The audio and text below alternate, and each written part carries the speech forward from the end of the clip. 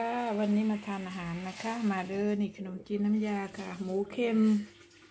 อันนี้ก็ตำแตงแครอทนะคะ สีสันน่ารับประทานไม่เอ่ยเห็นไหมไม่มีปลาค่ะ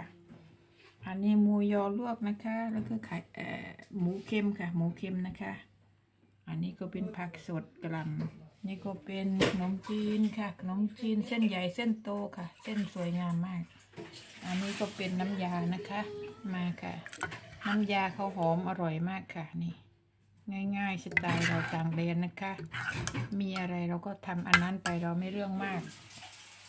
ไม่สรรหานะคะ นี่คืออาหารเที่ยงของเราสองคนค่ะสองคนเองนะคะปาร์ตี้สองคนค่ะ อาหารมีแค่นี้เองค่ะ นิดๆหน่อยๆ ไม่มากไม่มายนะคะสำหรับสองคนค่ะอันนี้เราก็ไม่ได้มีคนอื่นค่ะฝรงฝรั่งอะไรก็ไม่เชิญให้มันเสียเสียข้าวของเรานะคะ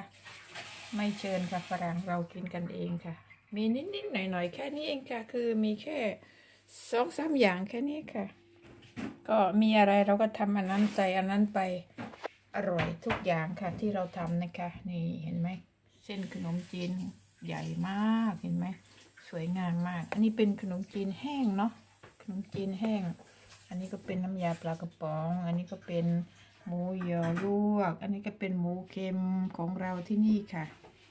อันนี้ก็เป็นส้มตำแตงกับแครอทเป็นตำไทยนะคะ อันนี้ก็ราดด้วยน้ำยาเรียบร้อยค่ะและอันนี้ก็เป็นข้าวเหนียว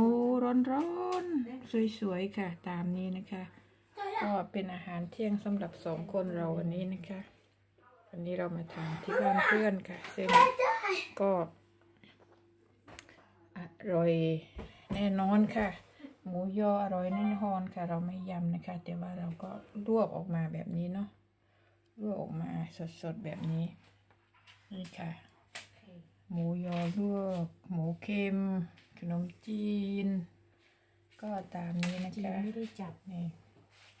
เรามีอะไรเราทำอันนั้นค่ะ สไตล์เราต่างเดนค่ะ ไม่ได้พิธีพิถันอะไรมากมาย เราทำกันเองกินกันเองสองคนเราไม่มีแขกนะคะ ไม่มีฝรั่งค่ะ ก็มีแต่ไทยเขมรสองคนอยู่นี่ค่ะค่ะค่ะ คลิปง่ายๆ วันนี้ก็มีแค่นี้นะคะฝากกดติดตามกดไลค์ด้วยนะคะ ขอบคุณมากมายค่ะ ที่เข้ามารับชมอาหารในต่างแดนวันนี้ สไตล์ต่างแดนค่ะ สไตล์เรานะคะ ขอบคุณมากมายค่ะ ขอบคุณค่ะ